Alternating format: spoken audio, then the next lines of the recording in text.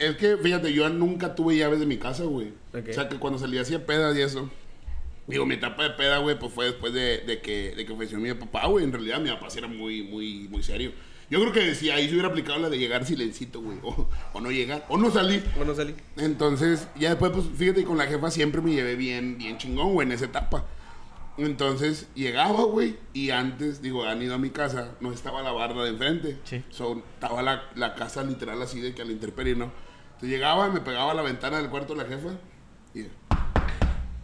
Llegue, ma. Amá.